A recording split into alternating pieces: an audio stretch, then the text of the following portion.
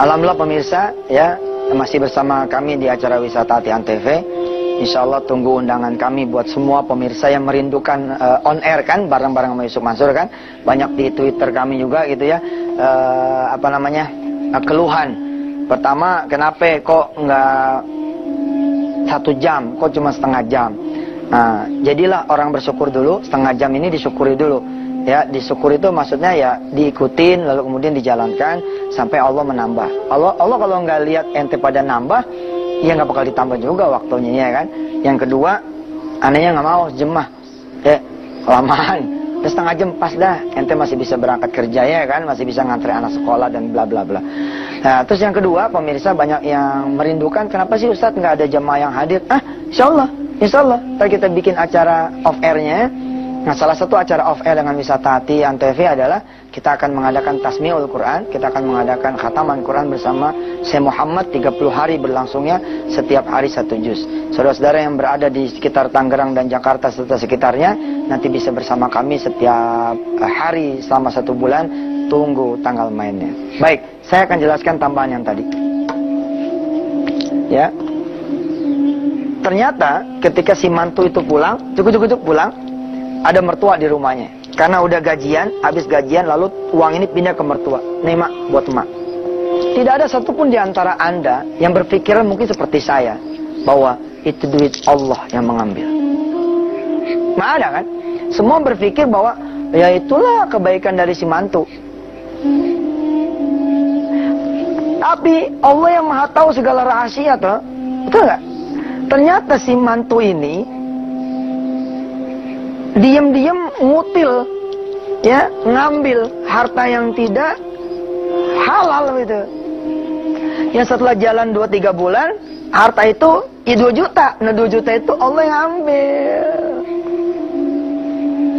Atau bisa saja misalkan saudara yang menjadi mantu seperti itu tidak ada sholat lohornya. Tidak ada ya kalau kameramen kita ini Masya Allah Masya Allah Masya Allah. Kalau sholat Jumat aja datangnya jam 11 Ya, nyari tiang nih buat tidur. Saking rajinnya dia datang jam 11, kirain sama HP atau nyari tiang ngetek buat tidur. Insya Allah deh kalau kameramen kita ini top, Insya Allah. Ane udah tahu, ane udah tahu, udah tahu. Insya Allah. Kita kalau mau siarannya kita doa dulu, apa dulu, masya Allah mantap. Ya. Nah kalau anda adalah seorang mantu yang tidak sholat berjamaah lala itu, nah, itu ada konversinya, konversi berupa itu. Nah ini yang disebut dengan sanas tadrijuhum. Ini namanya istidraj. Istidraj. Jadi anda tuh dimainin sama Allah. Ayo mah proyek banyak gitu. Wah, eh begitu di akhir waktu Anda harus menggadai Anda punya rumah, Anda harus menggadai Anda punya mobil. Tuh gimana? Proyek banyak, kok utang banyak? Ini dimainin nanti sama Allah. Saya tentu saja harus husnuzon kepada Anda semua. Insya Allah lah. Insya Allah Indonesia ini bukan sedang diadab, tapi sedang diuji. Tapi kalau diuji itu persoalannya lain lagi. Nah, cuman kan nggak cukup nih sekarang ya kan. Kita batasin aja sampai di sini dulu pembahasannya. Nih, ini, ini belum selesai. Nanti kita akan bahas di hari Rebo yang akan datang. Ingatin pemirsa, mudah-mudahan ini kertasnya nggak hilang. Kita berdoa yuk. Kita berdoa pada Allah, mudah-mudahan kita dikasih waktu sama Allah menuntaskan apa yang kita kaji. Kita berdoa dulu, mudah-mudahan Allah memaafkan kita semua. Apa saja yang membuat Anda menjadi saat ini terpuruk, mudah-mudahan Allah jayakan lagi. Mari kita berdoa dengan menyenandungkan salawatnya Nabi Allah Adam alaihissalatu wassalam yang diabadikan oleh Allah di dalam surah Ali Imran. Rabbana يا ربنا.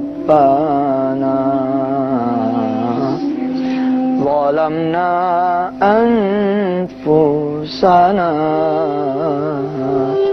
وإن لم تغفر لنا وترحمنا لنكونن من الخاسرين. كتاكوي اعتراف كتاكوي بهاش kita punya dosa ini begitu banyak. Kita wajar susah. Kita sekarang sudah tidak lagi mengeluh tentang mana pertolongan Allah. Tapi kita berpikir aduh ya Rob maafin saya. Udah bukan lagi persoalannya kita sehat dan tidak kebayar hutang dan tidak kebeli rumah persoalan kita sekarang adalah yuk kita syukuri apa yang Allah beri, kita tobat dari apa yang kita kufuri, kita kemudian berangkat menuju Allah Subhanahu wa taala hingga pada saatnya nanti Allah menurunkan lagi pertolongan dan Allah balikan lagi karunia kepada kita semua. La in syakartum la azidannakum wa la in kafartum inna adzabil syadid. Saya Suk Mansur, sampai ketemu. Wassalamualaikum warahmatullahi wabarakatuh.